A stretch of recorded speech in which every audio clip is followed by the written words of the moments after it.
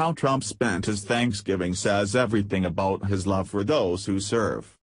President Trump spent this Thanksgiving cherishing the true spirit of the holiday.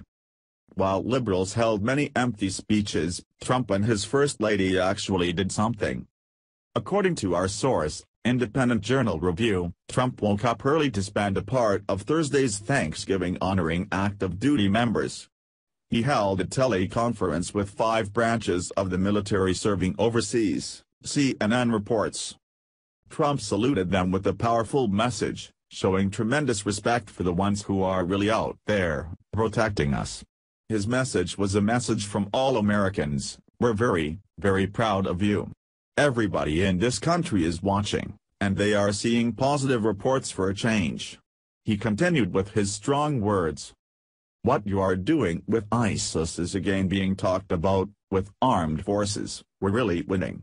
We know how to win, but we have to let you win. You weren't winning before. They were letting you play even. We want to let you win. As the day unfolded, President Trump and Melania made another trip, this time to our Coast Guard station Lake Worth Inlet to feed a Thanksgiving lunch to active duty members of the Coast Guard, who were working during the holiday. According to a pool report from the White House, Trump announced that it is an honor to be here, I have to tell you. Incredible people. You've done an incredible job. And I love coming in here and doing this with you today. I think it's, well, we have to keep you very well fed.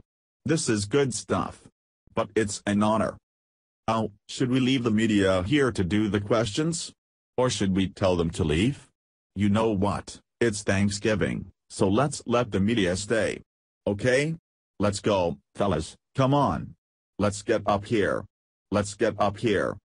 What do you have to say about his story? Scroll down below and leave us a comment. Comment.